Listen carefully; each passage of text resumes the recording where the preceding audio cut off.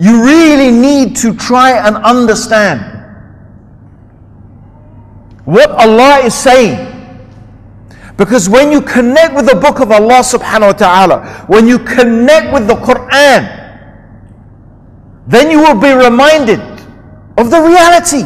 The reality that this life is short. Soon we will be in front of Allah. There will be the day of judgment, the hellfire, the paradise.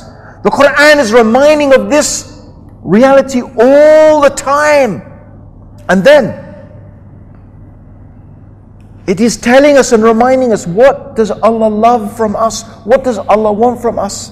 By way of ibadah, by way of prayers, by, by way of manners, by way of actions. What does Allah want us to keep away from? What are the haram things that Allah wants us to be far away from? So when you're reading the Quran and you're understanding it, you're being reminded. And this will build your taqwa. All of this will build your taqwa. Not only your understanding, of what it is that you should keep away from, but it's reinforcing your ability to do that.